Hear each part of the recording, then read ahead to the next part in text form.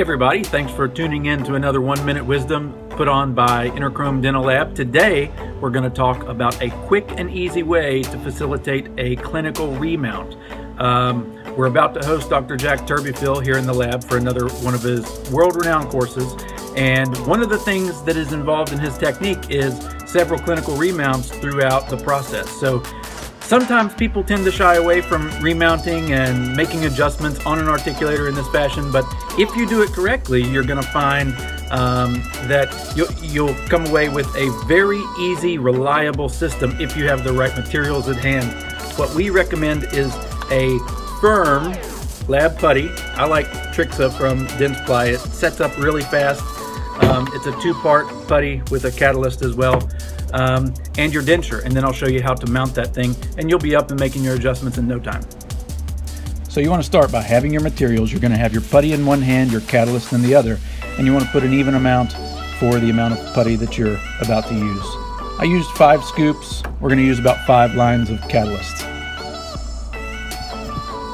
So when I'm looking at my putty and I'm about to shove it into the inside of this denture, I don't want to have any pink marbling left in it. I want it to all be one color I'm going to firmly stick it up into the interior of the denture, working it in so that I get really good adaptation inside. And here's the key to making our clinical remount easy. Let's set it up so that we have success when we bring it to the articulator. We're gonna push it down and we want excess putty to come out from around the denture because that's what our stone is going to grab onto when we go to remount it. A lot of clinicians sometimes will tend to shy away from clinical remounts because it's kind of cumbersome. Um, it's messy. You have stone. You're putting stone sometimes in a brand new denture. That's not fun. Um, other times, maybe you have a sensitive hydrocast. You don't want to put stone right on a sensitive hydrocast. This is a very good alternative to using stone in that fashion. All right, once your putty has set up, begin by cutting off some of the excess around the outside creating somewhat of a land area right here because here is where our plaster is going to overlap to hold our putty in place. If you take off too much, you're not going to have a firm foundation that your stone or plaster, whatever you choose, will be able to grab onto. All right, so get yourself a quick setting type 1 stone or quick setting plaster. You're going to make a putty, uh, I'm sorry, a a patty to start out with. As that starts to set up, take your denture with our putty, set it down on top of it, kind of squish it. And now we're going to encase that putty very quickly and gently with our stone so that it locks it in. It kind of registers the position in case it were to chip away. We're going to know exactly where it goes back to and just gently flow the stone up over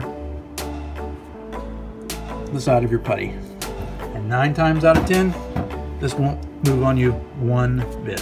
And then once it's set up, bring it over, give it a quick trim.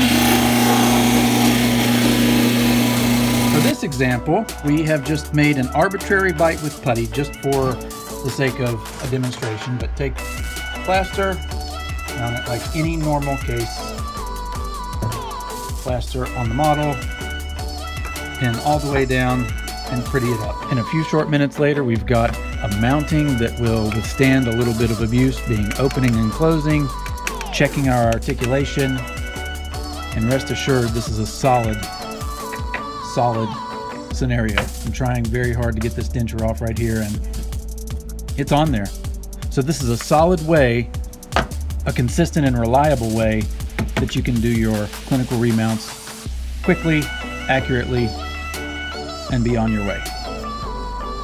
So even though that was a little bit more than one minute of wisdom, hopefully you got some good tips that you can use for your clinical remount from watching this video.